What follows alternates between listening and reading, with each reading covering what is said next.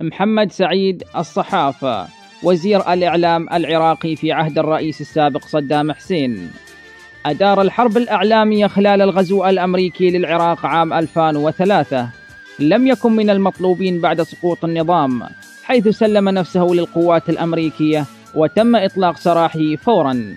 لقد غادر إلى الإمارات العربية المتحدة بطائرة خاصة أرسلت لنقله إلى هناك مع عائلته بأمر من الشيخ زايد.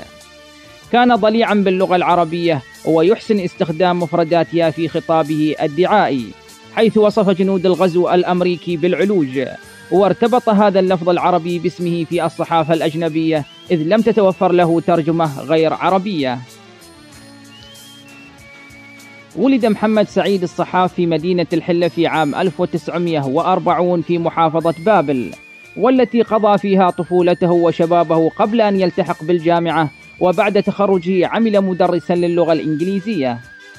في منتصف عقد الخمسينيات انضم الصحاف لحزب البعث واستمر يعمل بمهنة التدريس حتى قيام الثورة في السابع عشر من تموز عام 1968 إذ كان الصحاف هو المسؤول عن القوات التي سيطرت على مديرية الإذاعة والتلفزيون لإلقاء بيان الثورة. ولقد تسلم بعدها مهام المديرية ليصبح مدير الإذاعة والتلفزيون. ثم طورها لاحقا لتصبح المؤسسة العامة للإذاعة والتلفزيون.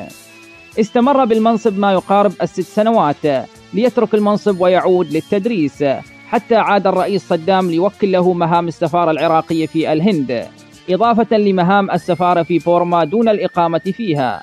ثم عاد ليكون وكيل وزارة الخارجية وبعد ذلك مندوب العراق الدائم في الأمم المتحدة. ثم سفيرا في السويد ثم إيطاليا. ليصبح بعدها وزير الدولة للشؤون الخارجية ثم وزيرا للخارجية فوزيرا للإعلام. ويعد الصحاف صاحب أطول فترة وزير خارجية في تاريخ العراق. لعب دورا كبيرا في سير الأحداث وبرز الصحاف خصوصا بمؤتمراته الصحفية التي كان يعلن فيها عن انتصارات القوات العراقية المتتالية. بينما كانت القوات البرية تتقدم بشكل مضطرد إلى حدود بغداد.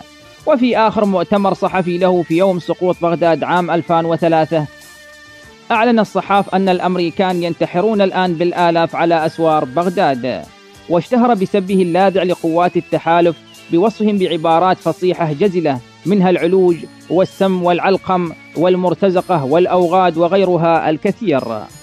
وفي الختام لكم مني أطيب الأمنيات والسلام عليكم ورحمة الله تعالى وبركاته.